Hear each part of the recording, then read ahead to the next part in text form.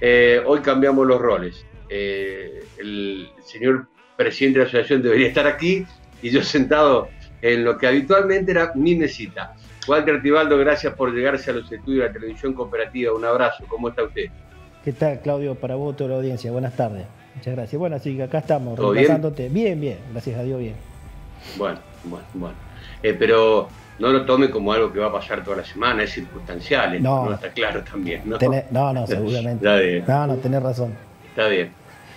Bueno, Walter, ¿dónde estamos parados hoy? A ver, eh, hemos charlado ya en, privado en varias oportunidades, sabemos que usted está en contacto permanente con los dirigentes, pero yo no sé si el término es de, del que voy a utilizar, pero yo sostengo que algunos están con las manos atadas sin poder hacer nada, y ese es el caso de, de ustedes, de las asociaciones, si no viene una habilitación de arriba.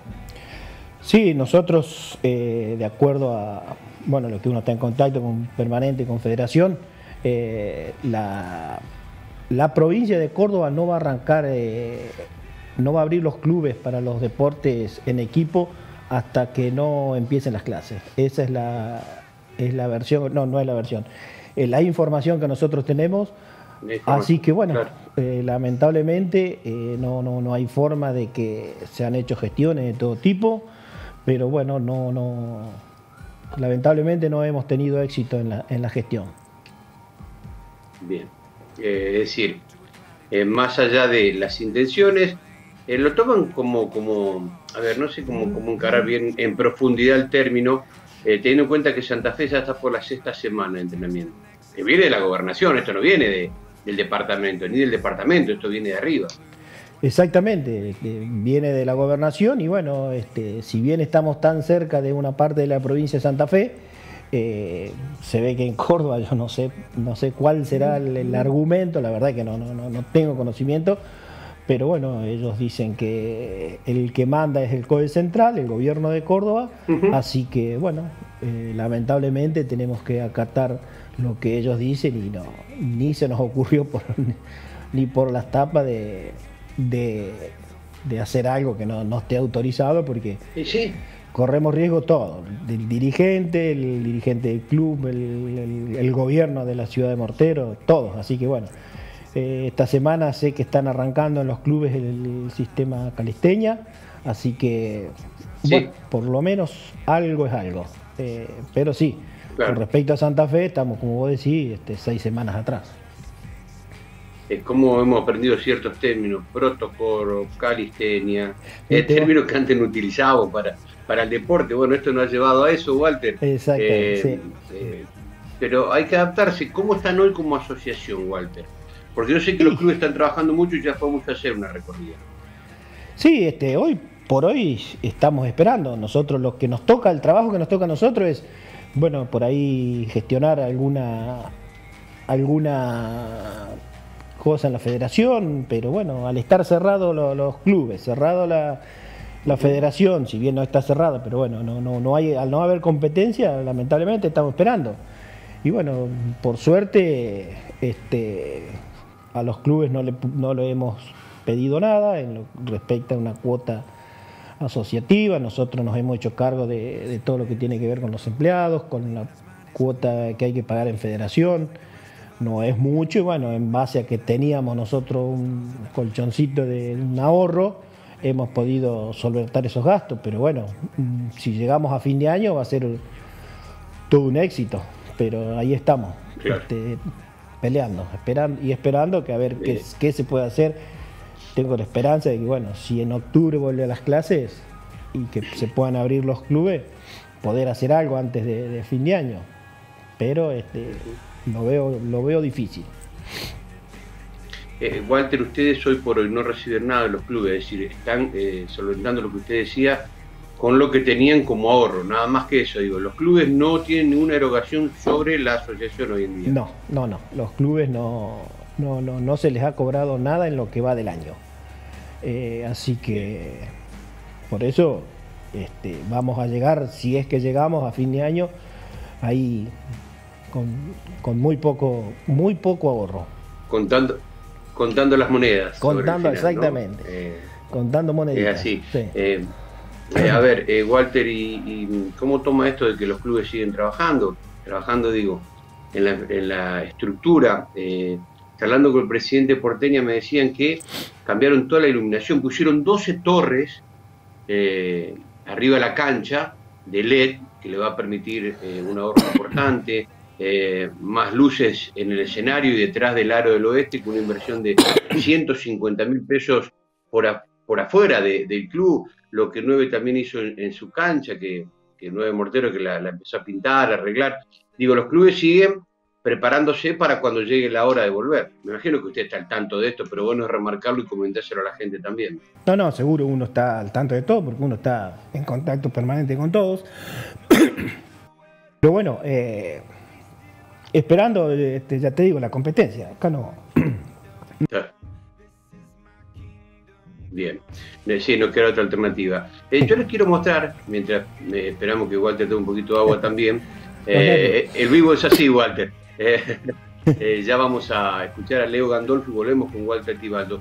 Yo les quiero mostrar a nuestros seguidores en Brinkman, en, Morteros, y agradecerles mucho que nos hacen saber que están del otro lado, cómo se está trabajando por el lado de Santa Fe. Sexta semana, Charlamos con Leo Gandolfo, ex jugador deportivo Suardi, actual entrenador, y así se trabaja ya para el lado de Santa Fe. Bueno, nos autorizaron, eh, arrancamos como, como, están ahora los chicos, eh, divididos por ahí un metro, un metro y algo entre sí y sí, ya cada uno tiene su lugar, antes por ahí nos juntábamos siempre en lo que eran las tribunas, se juntaban a charlar un rato, ahora eh, eso no se puede hacer, entonces cada uno tiene su sector y ese es el lugar donde ellos trabajan. Al principio lo, lo hicimos toda la parte física, eh, con, los profes, el profe Mariano, el profe Álvaro. Y bueno, después cuando se nos permitió el tema de la pelota, de por ahí el lanzamiento, se fue incorporando un poquito eh, eso para que sea un poquito más, más motivante para ellos y llevadero. Eh, estamos entrenando tres veces por semana, lunes, miércoles y viernes. la categoría U13, U12 entrena a las 17 horas. después de a las 18 entrenan los U17 y después ya el último turno que están los chicos de, primera. ¿Cómo es la concurrencia? Digo, ¿tener más cantidad de chicos? Eh, ¿Notas que hay el interés de siempre? No, no, los chicos los que terminaron jugando sí, sí, son los mismos. Eh, pero bueno, sí, eh, digamos, hay días que tenés 10, hay días que tenés 3, hay días, digamos, la motivación no es la, la, que nosotros necesitamos, por ahí el hecho de no, de no tener, el, aunque sea en el entrenamiento el uno contra uno, el dos contra dos, la situación real de juego, no, no es fácil y por ahí eso es lo que nos planteamos por ahí con, con Zurdo, con Mariano, con Álvaro, el hecho de tratar de hacerlo lo más motivante posible, pero que no, que no es fácil. Ahí está el tema, justo quería preguntar eso, ¿cómo se mantiene la motivación? Porque no es que decir, es esta semana, la semana que viene ya vuelve la competencia, ahí está el tema, prolongarlo en el tiempo. Claro, sí, eso es lo que nosotros por ahí más... Eh, no, nos afecta y, no sabemos cómo hacerlo porque el hecho de que si vos me decís, bueno, de, acá a dos meses va a volver la actividad, bueno, vos te preparás, lo organizás de una manera. Acá estamos eh, más que nada eh, prevaleciendo lo que es la parte física, que los chicos estén en movimiento, que estén dentro del salón, que estén dentro del club, eh, más que nada eso, pero, pero sí, no, no es fácil y creo que con el correr del tiempo se nos va a hacer un poquito más, más difícil todavía. Viendo la realidad de otras provincias, bueno, está mejor Santa Fe, digo, porque acá más 20 kilómetros Córdoba, todavía no abrieron ni la cancha.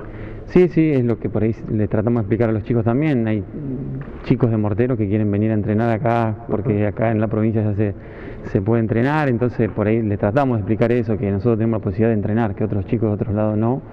Eh, entonces, bueno, lo vamos buscando de ese lado, pero, pero bueno, como te decía antes, tratar de, que sea una motivación y tenerlos enganchados y que no, que, que no nos falten.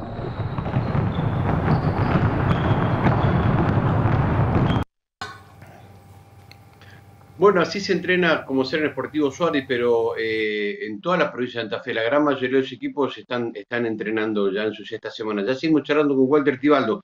Le vamos a mostrar un toquecito cómo entrena el equipo Negro Mengoni, eh, Unión de San Guillermo, eh, que también empezó al mismo tiempo que Esportivo Suárez y allí tenemos imágenes. Esto es en la cancha de Unión.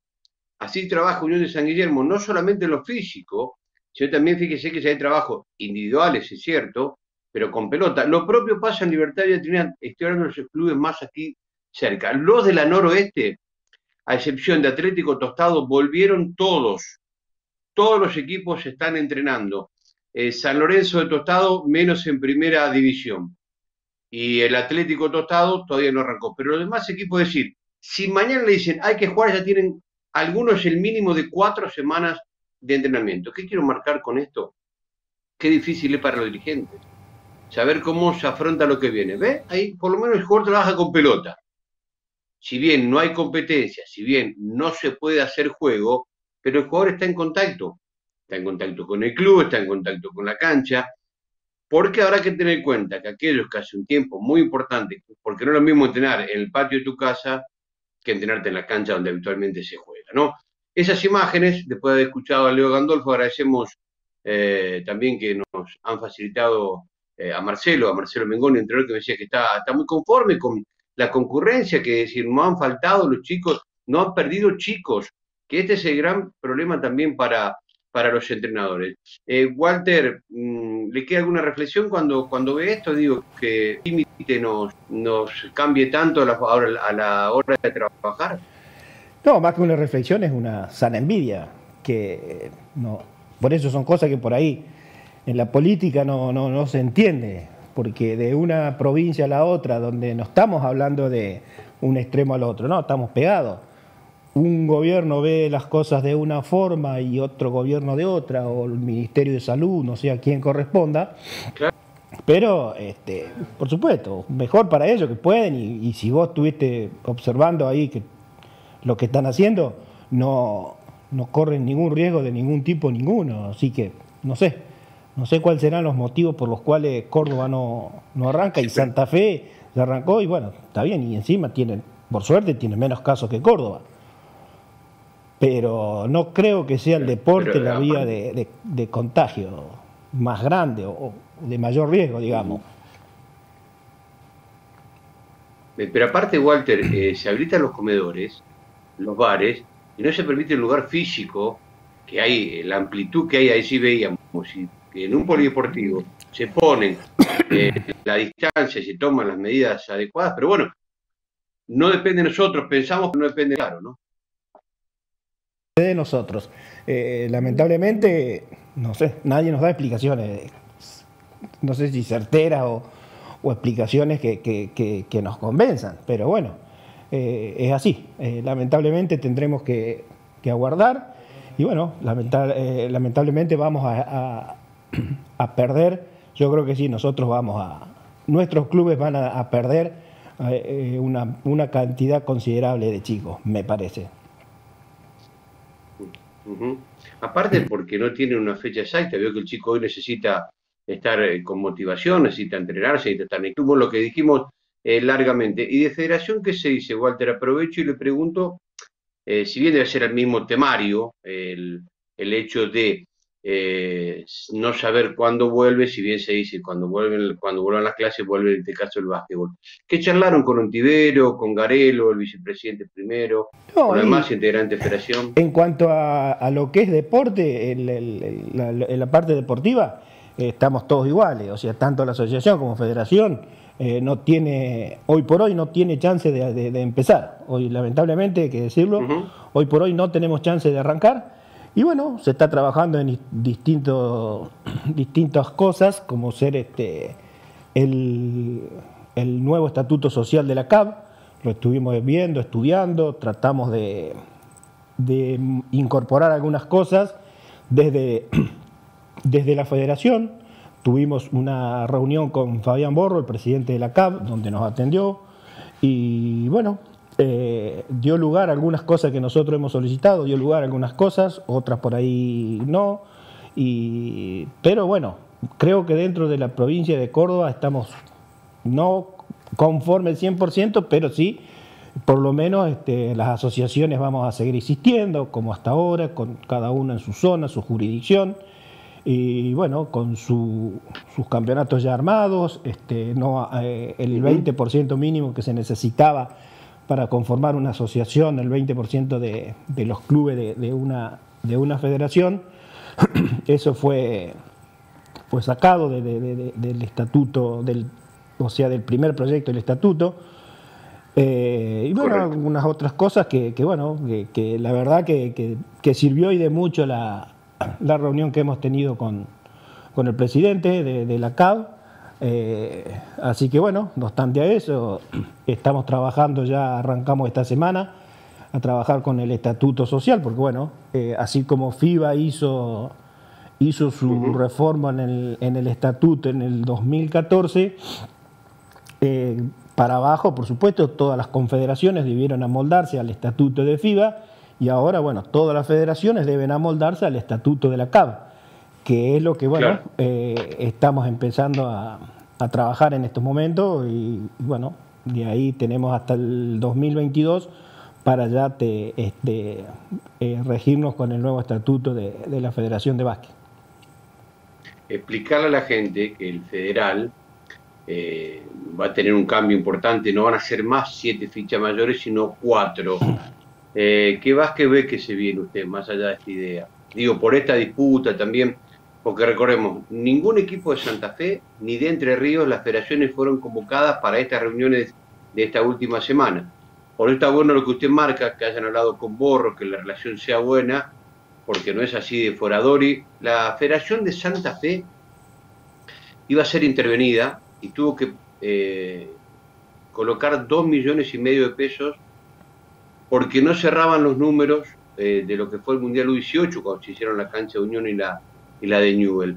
Digo, eh, está bueno esto que tengan una buena relación con la CAP en este momento tan importante la estructura o el cambio de estructura de nuestro básquetbol. Argentino, digo, ¿no? No, no, sin duda. Este, por ahí uno, tantos años que está en esto, y bueno, eh, ya en la conducción anterior parecía, parecía que iba a ser la debacle del básquet argentino, de, prosperar la reforma del estatuto. Bueno, eh, se unieron, se unieron las provincias, las federaciones, pudieron revertir algo. Pero no obstante, yo creo que, sí, que, es la entidad madre, te guste o no te guste, es la entidad madre y qué sé yo, por ahí no, no, no sé, no, no, es, no está en, el pensamiento de la Federación de Córdoba de ir al choque con, la entidad madre, porque por una cuestión de, respeto, de, categoría, de, de, estamento, de todo. Me parece que ir contra la entidad madre no, no, no, no se puede, o sea, no, no se debe. Si bien, bueno, tenés que manifestarte, como nos manifestamos nosotros, explicarle, este, solicitar reunión, que te atiendan. Eh, yo estoy seguro que si esta hubiese sido una, época normal, eh, esta reunión se hubiese hecho en Córdoba, en Buenos Aires, pero se hizo vía Zoom. Y bueno, de todos modos, si bien no es lo que uno por ahí mejor le, gusta o queda cómodo las reuniones este, de, esta tecnología, porque siempre en el cara a cara es mucho mejor. Eh, en el cara a cara uno está, te, te ves, te decís las cosas. Para mí es otra, es otro el, lo que uno logra. Pero bueno, de todos modos, nosotros, si bien estamos conformes 100%, pero sí este, estamos conformes con, con lo que hemos logrado al menos. Claro. Y después, ahora, ¿eh? tendremos que, ahora tendremos que trabajar las asociaciones, nuestra federación, para adecuarse a, los, al estatuto, adecuar el nuevo estatuto de la federación al de la CAP. Así que bueno, ahí estamos y, ya, ya arrancando a, debatir lo que va a ser el nuevo estatuto de, la provincia. Claro, eh, decía, eh, va a ser grande el cambio. Yo sé cuál es su postura, con los más jóvenes. Esto le dará a los más jóvenes mucho más lugar en la tercera categoría del país, digo, de bajar de siete fichas, Walter, a cuatro. Yo no quiero alarmar a ningún dirigente porque alguien me dijo al pasar, eh, cuando yo consulté, van a ser una más, van a ser cinco, no. En vez de, cuatro, ojo que no sean tres, más la U21. Por eso, los juveniles tendrán una chance histórica, que yo sé que a usted le encanta eso, de que los chicos jueguen o fortalecer eh, los cimientos pero le queda como corto, como poco, es una opinión, ¿no? Cuatro fichas para el federal, cuatro fichas mayores. Y yo creo que los objetivos de, la CAP este, son bien claros, eh, tanto eh, en eso como en la captación de jugadores. Eh, yo no me acuerdo en este momento porque no, no lo tengo agendado acá. Cuando tuvimos la reunión con Fabián, Él, eh, creo que, creo que la, la, CAP tiene algo de 60.000 jugadores. Eh, en la Argentina hay 60.000 jugadores de básquet, ¿puede ser? Y bueno, yo creo que estamos, estamos siendo un país donde fuimos subcampeones del mundo, medalla olímpica, la generación dorada, deberíamos mínimo, mínimo estar en el doble. Yo creo que por ahí apunta la, la, idea de, esta, de esta conducción en eh, captar el doble de, jugadores. Por supuesto, esto no va a ser de hoy para mañana. Jugadores se le va a ir 10 años formar un jugador. y, y, el más, a mí, si me preguntás a mí, eh, yo a estos, estos cuatro mayores eh, le agregaría la, un porcentaje de, de los jugadores de fichas menores que sean formados en el club. No que, que tengas que traer. Oriundo. Oriundo, exactamente. Claro, oriundo, el oriundo. Pones uno, buena esa, uno, ¿eh? uno, este año, dos el año que viene, tres el otro año. Claro. Cosa de que este, va a ser una categoría formadora, netamente formadora. Eh, lo competitivo acá va a ser relativo, eh, pero sí va a ser netamente formadora los dirigentes de Suárez Chanchocho, ¿eh? con la U19 que tienen. Y sí, tienen, casi seis, seis, jugadores, Walter. Claro, porque tienen seis jugadores de, eso, de esos U19 que ya jugaron primera y salieron campeón en primera, en su categoría de juveniles, y algunos ya jugaron en federal, es decir, que ya están para jugar. A Deportivo le sobra, a Central de Cierre le va a sobrar, pero hay otros, charlando con Rosoto, el 9 de julio Mortero, tiene eh, a Cañete únicamente y tendrá que reclutar eh, jugadores y como ese ejemplo, el 9 Freire. Hablando con sí. ya empezó a reclutar chicos, ¿no? Por eso, esto va a acelerar lo que usted hace años que quería hacer. Que se trabaje mucho más para abajo que para va, arriba. va a acelerar o, por, fin, por fin vamos a lograr algo. Claro, pero creo que es así. Sí, sí, seguro. Deportivo tuvo, es, esta camada la agarró Gandolfo siendo U13, pero no cortó ese hilo, es decir, siguieron potenciando a las categorías menores para que lleguen sólidos a primera. Bueno, hoy ya tiene su primer cosecha. Central de Serie lo propio, por algo jugaron la final Central de Serie Deportivo. Y creo que el proyecto es de, esa manera. Eh, ¿qué, habló con los dirigentes de los equipos que van a jugar el Federal? El caso 9 Freire y 9 Morteros, si es que charlaron este tema, vuelta. No, del Federal no, no, no, no, no, no hemos hablado nada. Sé que los dos están entusiasmados con jugarlo, tiene ya su lugar ganado. Pero no, no, yo en, lo personal hablo con todos los dirigentes en el grupo de, WhatsApp o tenemos distintas reuniones vía Zoom. Eh, y bueno, charlamos los cotidianos, por ahí no, no es mucho lo que hay que hablar. Pero sí, lo, bueno, la tranquilidad que me queda es que están todos los clubes ya, el día que se pueda largar, están todos en condiciones de largar, con personal, con, con, con el protocolo, ya, con conocimiento del protocolo, con todo. Esa es la tranquilidad que tengo. Y con respecto a, lo demás, bueno, solo falta, falta esperar, que eso no, lamentablemente no depende de, ni de federación ni de la asociación. Depende de... No, seguro, seguro.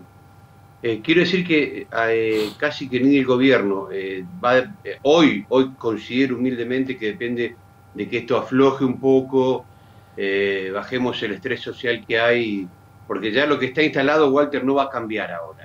Digo, el que dijo no es no, el que dijo sí es sí. Yo tampoco entiendo mucho aquí. A nosotros nos preguntan actualmente en la radio o en la televisión, che, eh, ¿se puede jugar al tenis? Eh, ¿De dónde sos? Ah, Porque se dan casos acá. Bueno, acá se dio con el fútbol, Walter. En Suardi no se habilitaron las canchas de fútbol 5. En San Guillermo la intendenta dijo que sí. Y en Villa no. Entonces, eh, el Cere que tuvo casos tiene habilitadas las canchas de fútbol 5 entonces entramos todo en una confusión generalizada. Yo creo que cuando se dijo que no, se dijo que no el básquetbol es no, hasta que se pueda, ¿no? Sí, sí, es, lo que por lo menos no, es, el bajamiento de línea que nos han hecho nosotros. Hasta que no arranquen las clases, eh, es imposible pensar que arranquen en, los clubes. Eh, le pido que no se me vaya, que se quede un ratito más. Eh, Va a aclarar con Marcelo Mengoni. Eh, cuando lea lo de Mengoni se va a enojar Rosoto. Le agradecemos a Gustavo Rosoto también que deja, nos deja saludar a los dos. Eh, le pregunto eh, si es verdad o es un mito que cuando Rosoto dirigió la selección de morteros, a usted no le permitieron ir al cuarto a ver la final. No, no es un mito, es verdad. Eh, es verdad. Sí, pero viste, esto es como todo, este, este es como todo, este, el dicho de Mengoni, a la, vuelta venden torta, te decía siempre Mengoni. Y a Rosoto, eso le digo a Rosoto esto, a la vuelta venden torta. Ajá. Eh, pongo un contexto a la gente. Final de la Asociación de Básquet de Morteros, eh, de la selección en Río Cuarto, que por primera vez ganó un título fuera de Morteros. Los dos que tenía, en juveniles con el Palo Ceruti y en mayores, habían sido uno en nueve y en mayor en tiro dirigida por Rosoto, el presidente de la asociación quiso armar un viaje, le dijeron, vos por acá no apareces, una falta de respeto. Eh, digo eso, digo eso porque yo también iba a ir eh, eh, a, esa, a ese partido y no nos dejaron. Acá agrega algo más, teníamos miedo que sea mufa. Bueno, a la vuelta venden torta, te dijeron nosotros. En un ratito, fíjese lo que tenemos, charla con este hombre, corría el año 1997, a ver Coto, ponchámelo, año 97, Carlos Palo Ceruti en el estadio, 9 quería ganar ese título clausura. Nico Gutiérrez ya hace un tiempo largo que está en el sur. En un rato charlará con nosotros, mano a mano, contándolo de aquel tiempo. Es una linda charla que tuvimos hace un tiempito cuando nos acompañó. Eh, reitero, corría el año 97, eh, 9 jugaba en condición de local, el torneo asociativo que iba creciendo de manera importante. Y el hombre que hoy nos va a acompañar en la segunda parte del programa definía de esta manera. A ver. Cañete que levantamos 25. La tiene Cañete, Cañete, Cañete para Gutiérrez, para Gutiérrez, para Gutiérrez, para Gutiérrez en zona 2. ¡Oh! celeste! En el hipódromo de la Plata, undécima carrera ganó el 11, el jockey Miguel Leyes. En la duodécima ganó el 13, el jockey Jorge Ojeda, décimo tercera carrera ganó el 12, el jockey Antonio Rivero, décima cuarta y última ganó el 5, el jockey Gerardo Labarte. La tiene Diego Righetti en zona 3. Porteña. Mira el pendeche. 55 para cerrar la final. Electrizante, impactante de loco. El 9 gana por 4, amigo. La tiene Valdemarín. Levanta la bocha, la deja para Cañete. 1.45, 1.44, 1.43. El 9 gana por 4. La tiene Brandolini. Brandolini bota, la deja para el Fede Valdemarín. El Fede que lanza en zona 3. Pega de soporte. La recupera Porteña. Barriguetti es Pablo. Pablo se para de 3, tira de 3.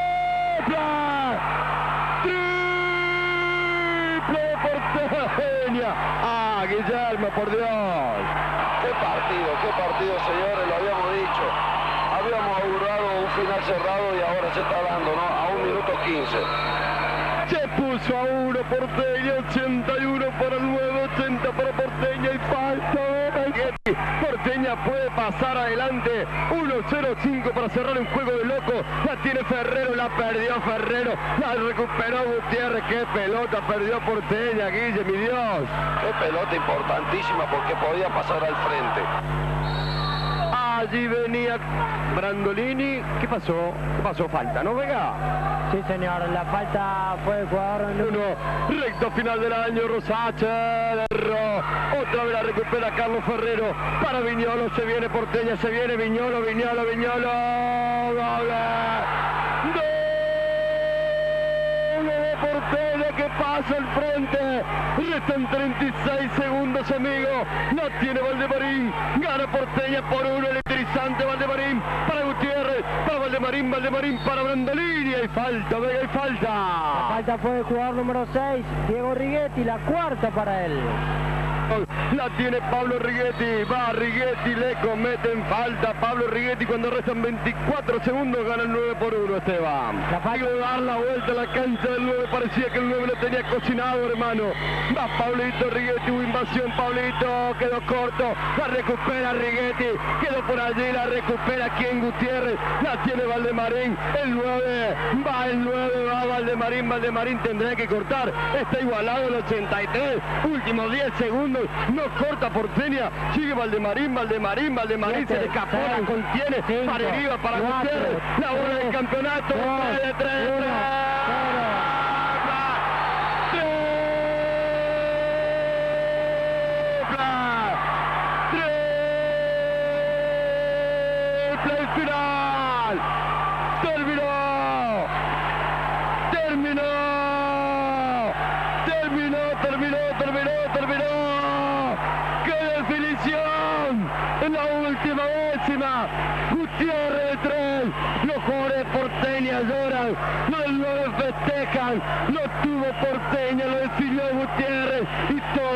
Gente aplaude y aplaude. Ganó el 9 en la última bocha que digo, en el último suspiro, si me parece verlo hasta el palo Cheruti aplaudiendo en aquel rincón. El 9 otra vez salió campeón. Porteña, sus jugadores van a saludar los jugadores del 9. ¡Qué definición! ¡Qué final, amigo! 86 para el 9, 83 para Porteña, la bola del campeonato. Sobre la chicharra la metió Gutiérrez. El 9 ganó la serie 2 a 1 en un partido increíble. El 9 otra vez campeón. Bueno, eh, ahí recordamos un poquito que el, cierre de- del título de 9 de julio de Mortero sobre Porteña, con esa convocatoria que tenía nuestro, nuestro ¿no? Qué, qué lindo. Hoy ya no, no tanto, eh, el hecho también de jugar torneos eh, a otro nivel y cambiar algunas veces los días y, y la ida de Libertad, San Guillermo y Suárez, parece que vemos siempre en los mismos temas, pero es la, es la realidad, ¿no? Año 1997, ¿cuánto ha pasado, no? Y a veces queremos traerle estas perlitas, vuelta olímpica de 9, eh, con un grupo de jugadores que ganaron muchísimo. Ahí vemos de espalda a Diego Cañete, que es decir, el hombre más ganador de la Asociación de Básquet de Morteros.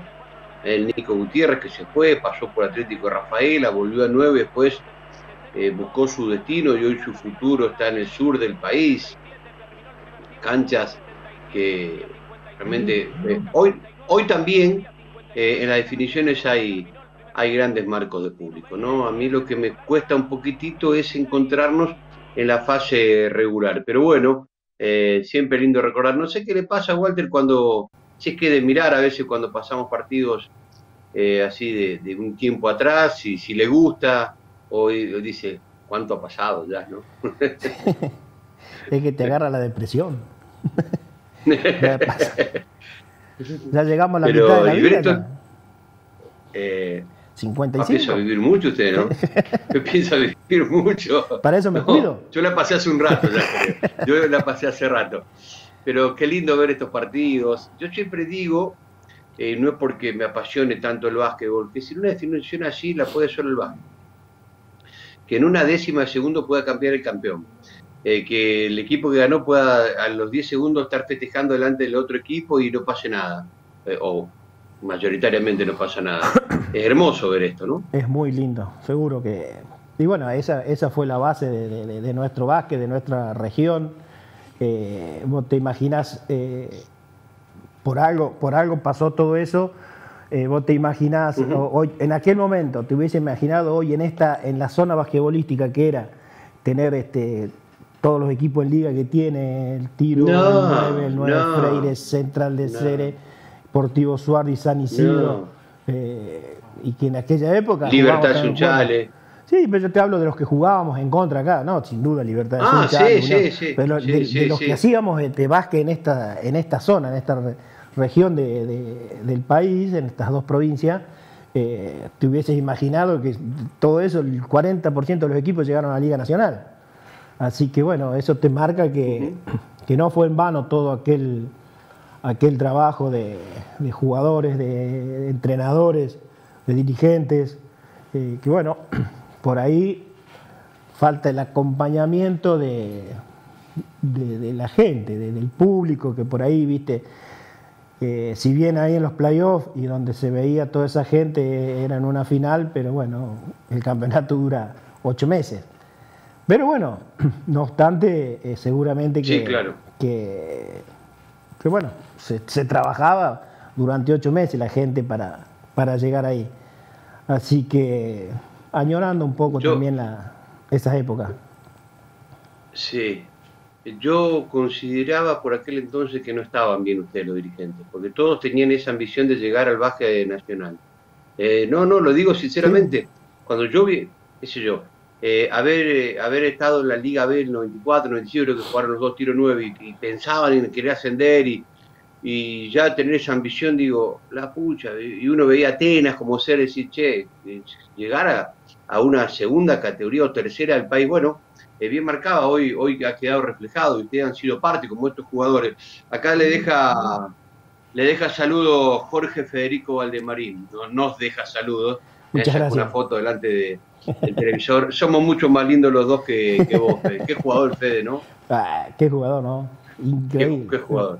Yo me acuerdo, lo relataba el, el principito, el principito Jorge No le gustaba mucho que le el así. principito, era un- no, no, no le gustaba. No, No, no, le gustaba mucho, pero bueno. Y- Nosotros nos encargábamos Es que después de recordárselo, después los partidos, todo eso. Sí, sí, sí, sí, ese grupete que estaba ahí. Pero qué, qué época hemos pasado también justamente con esa camada de jugadores que acabamos de ver, Walter. Tremendo. Somos todos contemporáneos. A ver, yo en el relato, usted dirigente y ellos como jugadores, eh, cada cual de su lugar, ¿no? Pero a mí me encanta recordar. Y yo me Me acuerdo, trae lindo. eh, el recuerdo que uno tiene que eso, eh, esa cama de jugadores surge de una necesidad de hacer básquet y bueno, nosotros veníamos por ahí de, haber jugado la, la Liga Nacional y bueno, las, la- las arcas del club no estaban de lo mejor y bueno, había que volver a los torneos locales y bueno, de, a raíz de eso Sí. ya, ya esos jugadores estaban apareciendo en la Liga Nacional y bueno, fueron los que formaron esa camada de, de, de la gente de- del 9 que bueno, que fueron los que se logró todo lo que se logró. Sí, la cantidad de títulos que ganó. De hecho, Valdemarín se va a estudiar y va a jugar a universitario y gana la primer liga cordobesa cuando cambia el nombre de Claro. Carlos Carnelli A la- liga a la cordobesa. cordobesa, por- Eh, Y- Así que, bueno, una No, nos Sí. ganan a nosotros en la semifinal, creo. semifinal, semifinal. Eh, eh, Unión le gana semifinal a, Sí, a, a 9 de julio. Sí. Siempre son lindos los recuerdos. ¿Sabes por qué digo son lindos los recuerdos? Porque es parte de este, de este presente. La historia exactamente, hoy nos trae este presente, ¿no? exactamente, sin duda. Sin duda que sí. Eh, pero cuando usted, usted cuando dijo eh, la necesidad de este caso 9 de julio llevó a eh, poner los pibes o que los pibes se hagan grandes rápidamente, eh, es, lo que, es lo que hoy va a pasar con el básquet. Aquellos que no tengan la estructura firme tendrán que, y bueno, los pibes tendrán que dejar, dejar de ser pibes y las promesas tendrán que ser realidades, ¿no? Sin duda, sin duda. Fue un trabajo de, de- de Gabriel Llaveno que, bueno, eh, lo disfrutamos prácticamente una década. Así que Sí, eh, hubo toda, toda esa década, yo creo que el único de afuera que era Marcelo Mengoni, que ya era uno más de morteros, y siempre si conseguíamos dinero, traíamos alguno. Y por ahí si no conseguíamos, también traíamos, de algún lado salía. Más de una vez hemos puesto nosotros. Pero bueno, eh, ese, era el baje que se hacía en esa época, enormes sacrificios humanos que, que hoy por hoy se siguen haciendo y bueno, uno no está más en ese día a día, pero bueno, ve que en los clubes se está trabajando y, y mucho, por suerte, así que bueno, creo que el futuro del básquet está, está asegurado, eh, al menos en esta parte de, de, la, de la región, Eh, y bueno, esperando, esperando que esta pandemia desaparezca, que aparezca la vacuna y este, esperando que la vuelta a los clubes no nos haga el daño que por ahí uno, sí. uno cree que va a ser, lamentablemente. Eh, a ver, Walter, eh, considero que eh, por aquí se va a sufrir, pero no tanto como en otros lugares, Walter. Acá los clubes están mutualizados. Yo decía recién, Porteña cambió toda la iluminación, gastó 150 mil pesos, el club salió cero pesos. Porque consiguieron todo por aporte por afuera. El 9 sabe que si van a golpear una puerta se le va a abrir, o tiro, o esportivo, o 9 Freire. Pero hay otros que no están mutualizados y sobrevivir le va a costar. ¿eh? Y ese es el problema que está pasando en las ciudades, más que todo en las ciudades grandes como Córdoba, donde hay clubes que viven el día a día de la cuota de- del chico que va a básquet. Esos clubes hace cinco meses que no le, entra, no le ingresó un centavo y el- con el profesor medianamente tienen que cumplir, Correcto. tienen un contrato en, en marcha y, y por ahí el profesor habrá resignado algo, pero tampoco puede resignar todo. Eh, sí, sí, la verdad que va a ser durísimo, durísimo el arranque de todo esto. Eh, ¿Qué se dice del provincial es que Federación hablaron? Me había quedado antes cuando pasaron por Federación, es que charlaron algo. No, no, este- por este año no, no, no hay ninguna competencia provincial. No hay. Eh, no hay. No No, hay. no va a haber porque... no- Ninguna categoría, ninguna obviamente. categoría.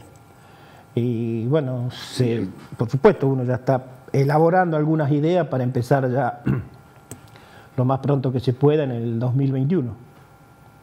Bien, hablamos antes de Valdemarín, Valdemarín jugó aquella final, aquella final recordada del 2003 entre Banda Norte y 9, ¿no? En aquel quinto partido, en realidad, una, una serie hermosa aquella, ¿no?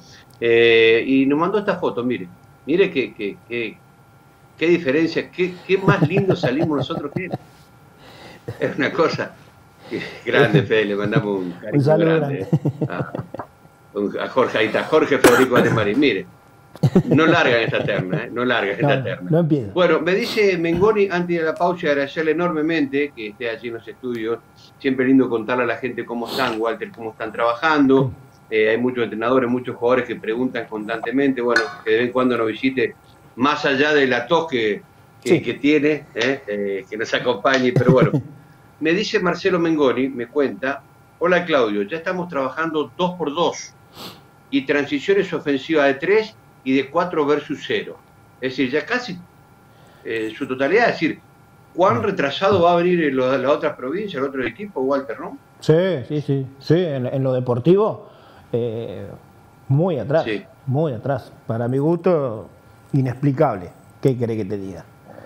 Inexplicable. Y sí, si, si se trabaja como veíamos ahí en Unión o como se trabaja en Esportivo, que todo trabaja de esa manera, y no le permitís y permití que un montón de gente se junte en un comedor, pero bueno, nosotros que pensamos parecido no tomamos decisiones.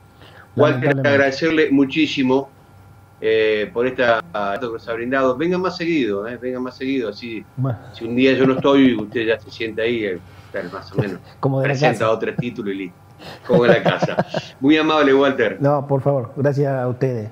Un abrazo.